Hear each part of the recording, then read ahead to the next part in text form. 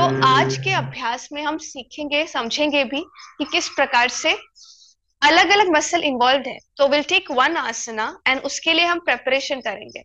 Okay so grant me to share you the screen so here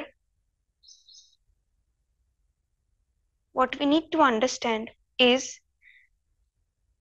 जहाँ पे major problem होती है is this part lifting up right lifting up वो एक plunge लेना ज़रूरी होता है।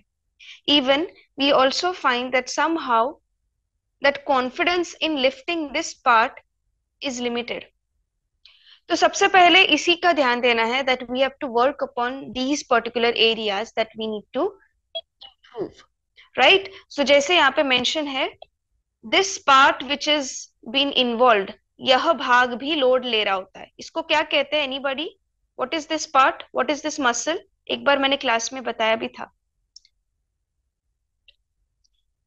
एनीबडी में unmute calf muscles calf muscles इसको हम um, जो नोमेनक्लेचर का नाम नाम बताया था मसल्स का नाम बताया था उसका काफ मसल्स को ही दूसरे शब्दों में क्या कहते हैं? गेस्ट्रोकनिमस मसल ये गेस्ट्रोकनिमस मसल का नाम भी इसीलिए दिया है कि यह यह जो भाग है ना this is very much involve in the gas secretion and keeping the bodies metabolism in a good condition इसीलिए वज्रासन में भी जब हम बैठते हैं, तब यह भाग प्रेस हो रहा होता है। So this is going to take up the load during Chakrasana similarly this particular area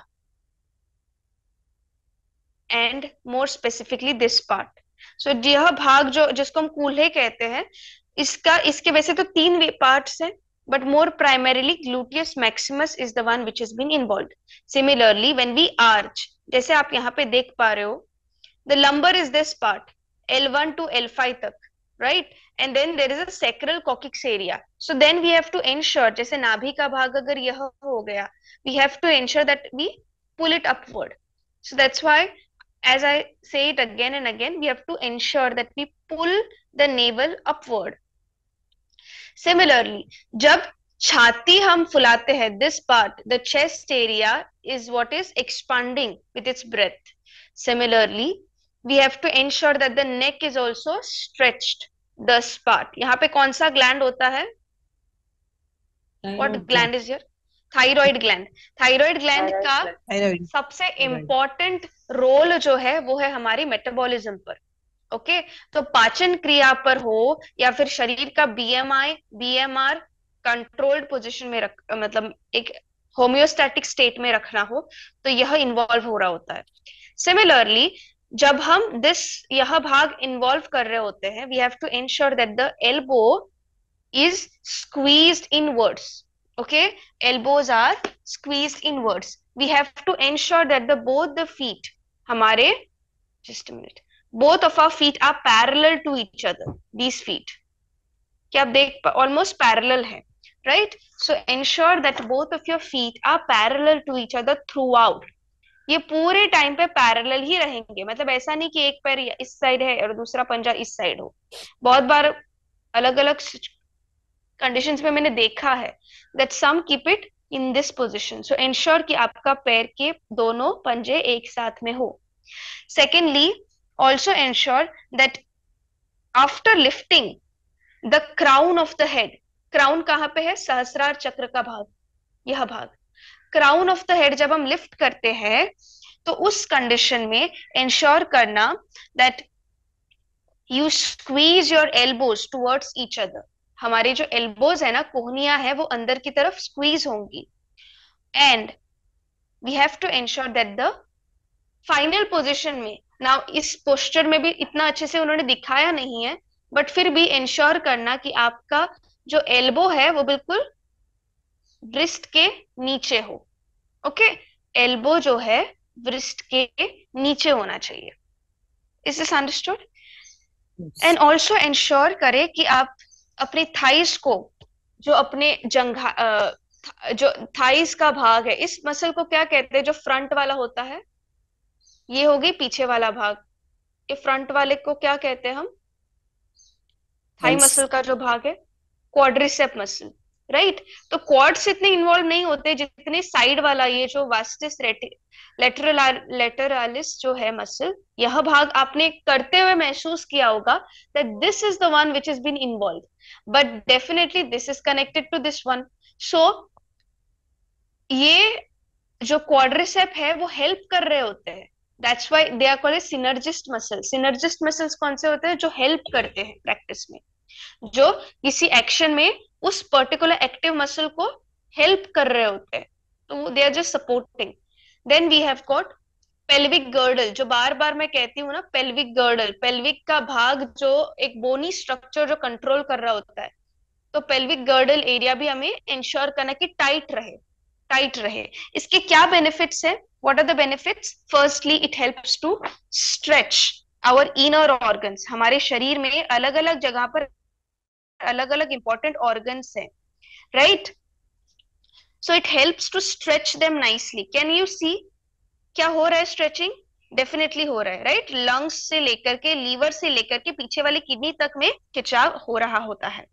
secondly इस अभ्यास में we open up the lungs हमारे जो लंग्स लोब्यूल्स है लंग का एरिया छाती का भाग, जैसे वक्ष स्थल जिसको कहते हैं, छाती का भाग हमारा ओपन हो रहा होता है।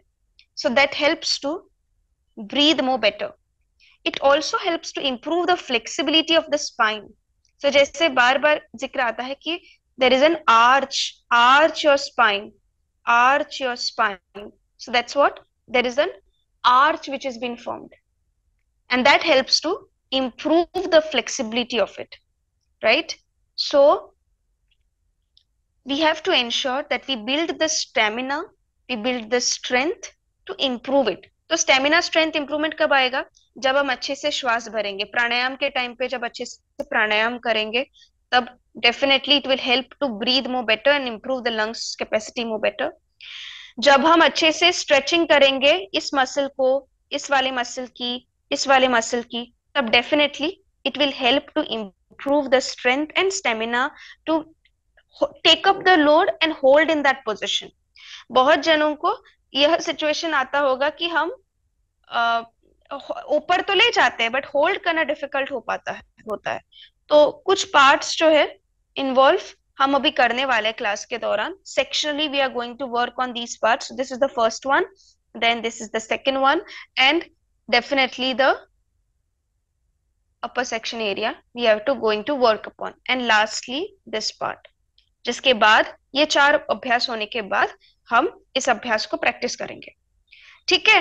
And not to forget the breast area because definitely जैसे बहुतों ने समझा भी होगा these parts take up the load so कब कोई कोई कहता है कि ब्रिस्ट बहुत वीक है तो क्यों वीक है? Because they have never taken up the load previously और ये हम क्यों लेते हैं load so as to improve the strength कहते हैं ना कि अगर थोड़ा थोड़ा हम अपने शरीर को काम देते हैं तब तो वो ज़्यादा स्ट्रोंग बनता है नहीं तो वो अपनी एक्चुअल शक्ति को भूल जाता है या फिर यूँ कहें तो जैसे अगर हम बेड पर ही लेटे रहे पूरा दिन पूरा पूरा महीना then the bones of the muscles will also get weak bones and the muscles will get weak they will forget their ten, their actual strength and इसी को शायद आपने देखा भी होगा when the people get bedridden उनके movements restricted हो जाते हैं.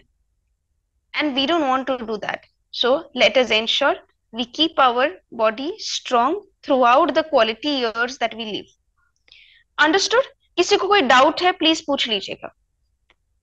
Any doubt at this moment any doubt at this moment no doubt no doubt was this clear perfect can we move ahead? Practically करेंगे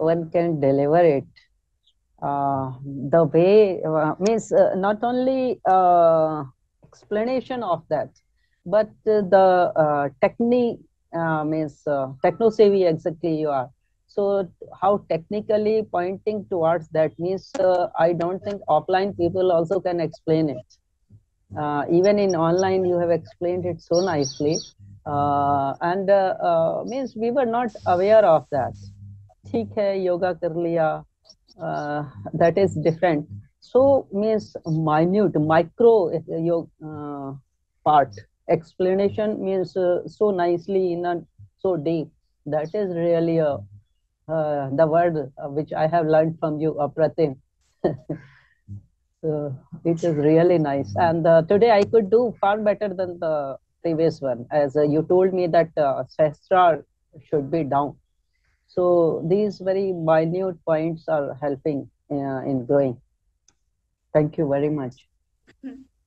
And uh, the change you are saying, the change is not that you feel in that body that how uh, every part is opening and that you never have experienced that uh, uh, by yoga you open the parts. Yes, you do yoga. That is a different thing but uh, how you do it uh, and how you experience it that is वो कहते हैं ना मतलब गूँगे का स्वाद जो है वो बता नहीं सकता उसको एक्सप्लेन करके इसमें कि ऐसा है so people say it when you really experienced it uh, inside inwardly so that is mm. the thank you very mm. much thank you ma'am और uh, मुझे लगता है कि हम सभी अब तक शायद इतना कॉन्फिडेंस तो ला पाएँगे, ला आ पाए होंगे कि योगाभ्यास सभी के लिए अनिवार्य है एंड सभी को करना चाहिए।